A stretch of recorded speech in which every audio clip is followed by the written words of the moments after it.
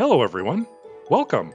This is Dave, and today I created these three rustic Christmas decor items using wooden shims.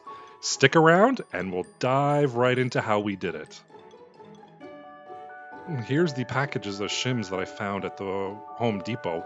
I think they were about $2.88, and then I have a package of round wooden base from the um, Dollar Tree, actually. And I'm going to start off with doing the center piece that's going to hold everything together. So the trunk of the tree, let's put it that way. So I'm just kind of figuring out how I'm going to start it. And I want it offset a little bit. So I took a broken piece and I just glued it using a hot glue to the first limb, quote unquote, I guess you could say. Now, if you're not familiar with shims, they are little pieces of thin wood where one side is really thin and the other side is a little bit thicker. So it's almost like a ramp, if you will, a small little wooden ramp. so that's what I'm making uh, this Christmas tree out of. So I'm going to start with my base now. And I have that one little piece at the top just so it creates a little trunk at the bottom. And then what I'm going to do is I'm just going to glue it all together with the hot glue gun. And I'm just going to lay out another one, and another one, and another one, and another one. now, in order to get the effect of the top part being a little bit more narrow than the bottom part, as I explained a little bit earlier, the shims, each side has a thin side and a thick side.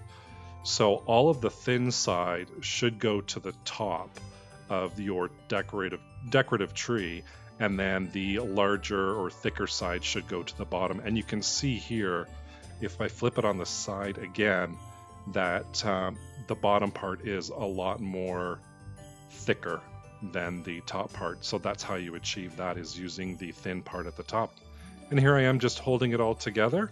And I realized I need a couple more on one side to balance it out. And I'm going to try to use those wooden circular base just to see how it looks up against um, my final tree. And I'm kind of deciding if I like that. As well, I kind of bring in another shim and I decide, hmm, do I like this better? Do I like the wooden piece better? it actually ends up that I like the uh, I like to use the shim. It just matches everything, so I'm hot gluing that right to the base, right in the middle, and then this piece is going to be done. I think all in all, it took me like five minutes to do, maybe six, seven, eight minutes, somewhere around less than 10 minutes, let's put it that way. And there you go, the final piece. Second is a wood star.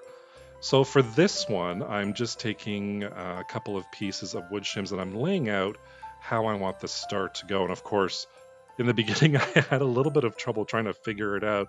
So you see me with my right hand, I'm trying to draw it on, uh, you know, draw it in the air sort of deal. And then as I place each piece, I draw a little bit more and then I decide, oh yeah, okay, I got it. Here we go. So I take my final piece. I just put a little bit of glue down, uh, the hot glue actually.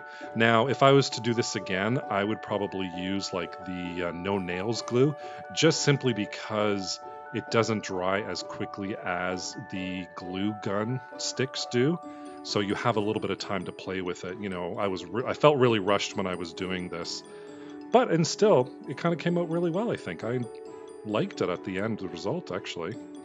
So really, I'm just holding everything into place now, and there's my little star. It's all done. Again, this took me like maybe three to five minutes to do, and there's your final piece.